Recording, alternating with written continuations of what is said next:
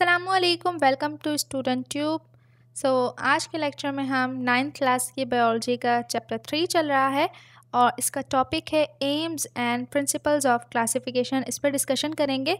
तो चलें स्टार्ट करते हैं। Aims and principles of classification पिछले लेक्चर में हमने बायोडाइवर्सिटी की बात की थी कि वो क्या होती है क्लासिफिकेशन की डेफिनेशन भी देखी थी और साथ ही इम्पोर्टेंस ऑफ़ बायोडाइवर्सिटी की बात की थी। अब हम बात कर रहे हैं aims and principles of classification यानी कि क्लासिफिकेशन का मकसद क्या है और इसके प्रिंसिपल्स यानी कि उसूल क्या हैं। तो जब भी हम कोई चीज़ करते हैं, यानी कि यहाँ पर अगर हम क्लासिफिकेशन की बात करें तो आखिर इसका मकसद क्या है कि क्यों क्लासिफिकेशन की जाती है? जिस तरह हमने पिछले लेक्चर में देखा था कि बायोडाइवर्सिटी की अहमियत क्या है, ठीक है? A system of classification is necessary because of the abundance of the variety of life on earth. अब सिस्टम ऑफ़ क्लासिफिकेशन क्यों ज़रूरी है क्योंकि ज़मीन पर जो है बहुत सारी वैरायटी ऑफ़ लाइफ पाई जाती है, इसीलिए उसकी क्लासिफिकेशन करना ज़रूरी है क्योंकि हमने चैप्टर के शुरू में पढ़ा था कि बायोलॉजिस्ट जो हैं, वो डिफरेंट ऑर्गेनिज़म्स को स्मॉल ग्रुप्स में तकसीम करते हैं क्यों? ताकि वो उसे अच्छे से समझ सकें और उसे आइडेंटिफाई कर सकें। तो इसीलिए क्लासिफिकेशन का जो सिस्टम है, वो बहुत ही ज़्यादा ज़रूरी है। अब there are currently around 1.5 million species that have been described and have been given scientific names अब यहाँ पर 1.5 मिलियन स्पीशीज़ की बात कर रहे हैं और स्पीशीज़ जो है, वो सबसे छोटा यूनिट होता है टेक्सोनॉमी का, ठीक है? जो कि हमने फ़र्स्ट चैप्टर में पढ़ा था, ज़मीन पर जो स्पीशीज़ हैं, वो है 1.5 मिलियन स्पीशीज़ पाई जाती हैं, जिनको अभी तक डिस्क्राइब किया गया है। यानी कि ये वो स्पीशीज़ हैं जो कि अभी तक डिस्क्राइब की गई हैं, यानी जिन्हें फाउंड कर लिया गया है और उन्हें साइंटिफिक नेम्स दिए हैं। अब in future more can be identified if they are found तो फ्यूचर में चांसेस हैं कि और भी स्पीशीज़ जो हैं वो आइडेंटिफाई और फाउंड की जा सकती हैं। To study such a diverse pack of organisms exist on earth biologist classified the organism into groups and subgroups.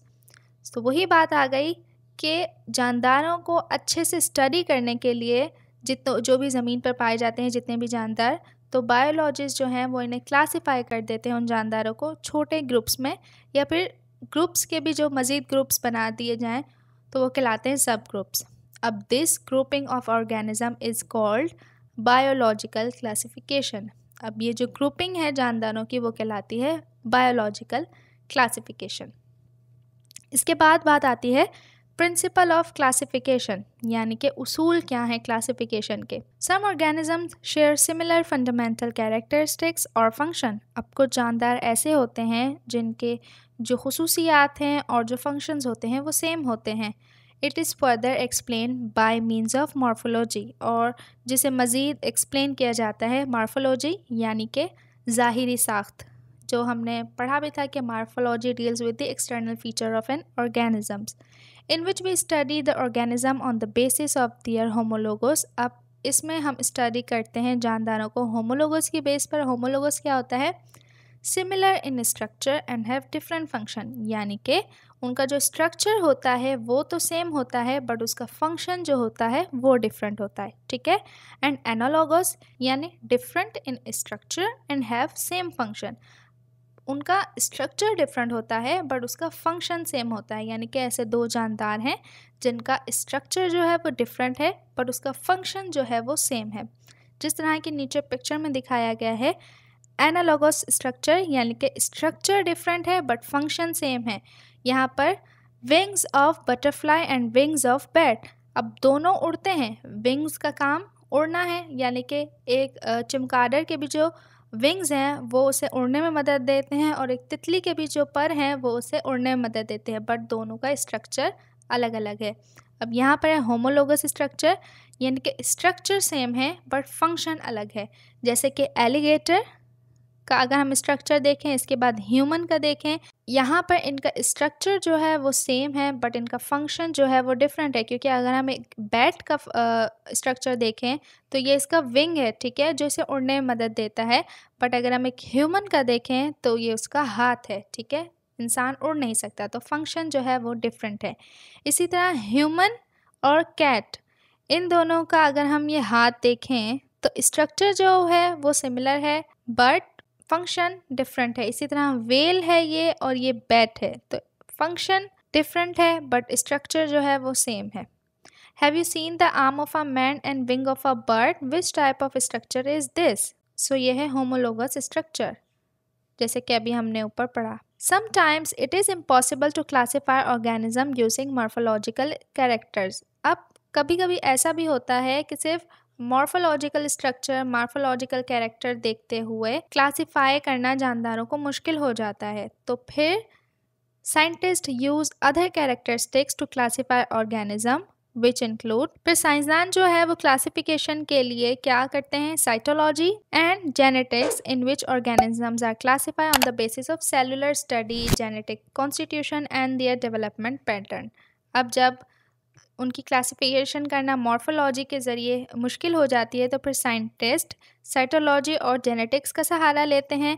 यानी कि जानदार जो हैं, उनके सेल्स का मुताला किया जाता है, उनके जीन्स को देखा जाता है और साथ ही उनकी जो डेवलपमेंट है, उसे देखा जाता है।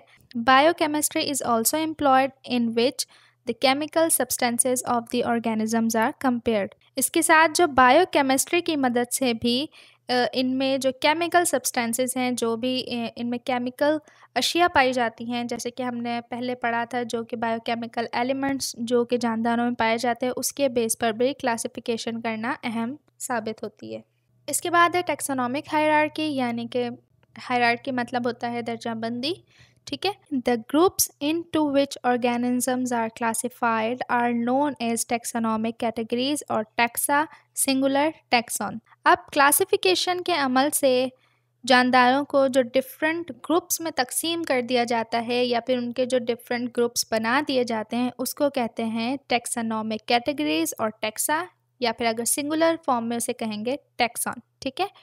The taxa are arranged in ascending order and form a ladder called taxonomic hierarchy अब टेक्सा को जो है असेंडिंग ऑर्डर असेंडिंग ऑर्डर का मतलब है छोटा, फिर उससे बड़ा, फिर उससे बड़ा, यानी कि छोटे से बड़े ऑर्डर में तरतीब दी जाती है। एंड फॉर्मल लेडर यानी कि उनकी जो तरतीब है वो एक सीढ़ी नुमा होती है।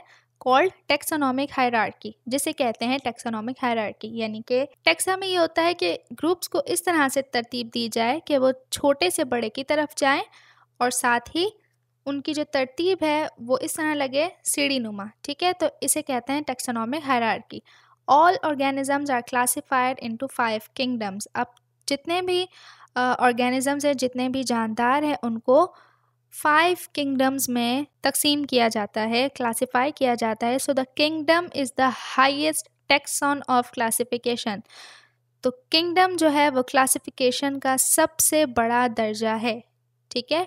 जैसे कि हमने बात की ना छोटे से बड़ा सो so, सबसे छोटा जो है हमने बात की थी सबसे छोटा क्या होता है? स्पीशीज़ तो इसी तरह सबसे बड़ा क्या है? किंगडम ठीक है? On the basis of similarities each kingdom is further divided into smaller taxa in the following ways और फिर सिमिलैरिटीज़ की बेसिस पे, यानी कि उनमें कौन सी चीज़ें जो हैं एक जैसी हैं मतलब उनकी क्या मुशाबहत है तो फिर उसे मज़ीद छोटे ग्रुप्स में तकसीम किया जाता है, जिसे ग्रुप्स यानी कि टैक्सा में तकसीम किया जाता है, जैसा कि नीचे दिखाया गया है। Do you know the one who studies taxonomy is called taxonomist तो क्या आप जानते हैं? कि जो टेक्सोनॉमी का मुताला करता है, वो टेक्सोनॉमिस्ट कहलाता है, ठीक है?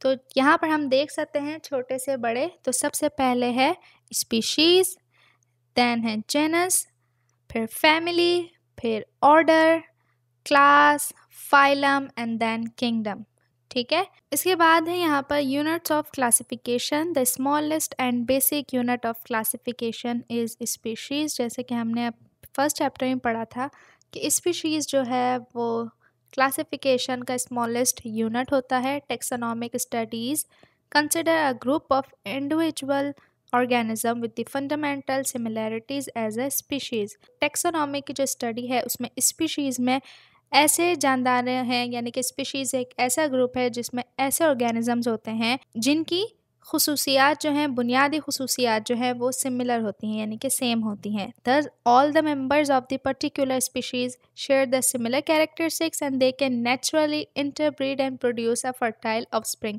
और ये जो है इंटरब्रीडिंग करते हैं और जिसके ज़रिए जो ऑफ़ स्प्रिंग होती है ऑफ़ स्प्रिंग का मैंने आपको पहले ही बताया था ऑफ़ स्प्रिंग का मतलब होता है औलाद और जिसकी शक्ल में इनकी जो नस्ल है, वो अफजाइश पाती है, ठीक है?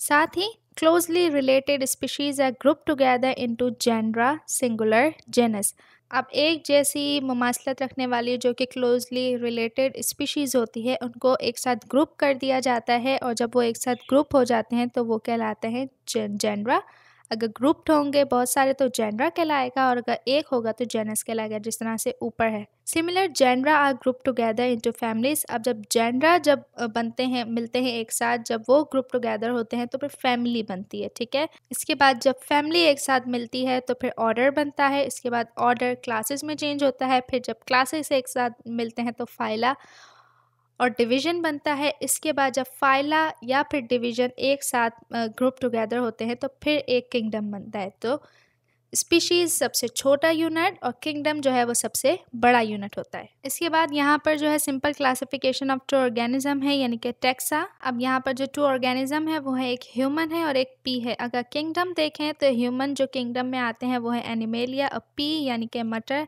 वो उसका किंगडम है प्लांटे फिर फाइलम में देखें तो ह्यूमन जो है वो आते हैं कॉर्डेट और पी जो है वो आता है मैग्नोलियोफाइटा में। इसके बाद अगर हम क्लास देखें तो ह्यूमन जो है उनका क्लास है ममेलिया फिर पी का अगर हम देखें तो वो है मैग्नोलियोसाइड ऑर्डर देखें तो वो है प्राइमेट और अगर पी का अगर हम ऑर्डर देखें तो वो है फेबोलिस इसके बाद ह्यूमन की जो फैमिली है, वो है मोनिंडी और पी की जो फैमिली है, वो है फेबैसी।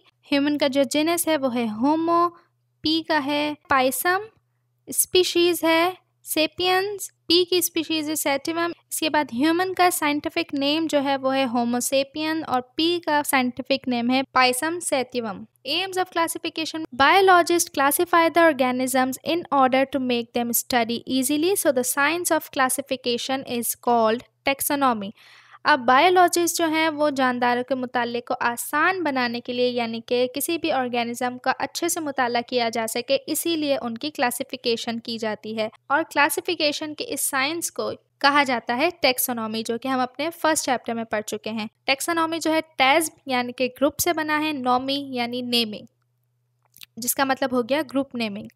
अब the main aims of this branch are to determine similarities and dissimilarities among organism so that they can be studied easily अब जानदारों में कौन सी चीज़ें सिमिलर हैं, कौन सी चीज़ें सिमिलर नहीं हैं, उसके बेसिस पर उनकी जो स्टडी है वो आसान हो जाती है, इसलिए उनकी क्लासिफिकेशन की जाती है। And second aim is to find the evolutionary relationship among organism और साथ ही जानदारों के दरमियान जो एक इर्तकाई रिलेशनशिप है, उनका जो इर्तकाई ताल्लुक़ है, उसको तलाश करना, ठीक है?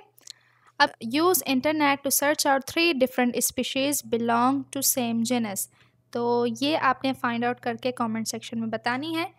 तो आई होप ये लेक्चर आपको अच्छे समझ आ गया होगा। वीडियो हेल्पफुल रहा हो तो आपने से करना है लाइक अपने फ्रेंड्स के साथ शेयर करें और चैनल पर नहीं हो तो सब्सक्राइब किए बगैर मत जाइएगा। मिलते हैं नेक्स्ट वीडियो में, तब तक के लिए अल्लाह हाफिज़।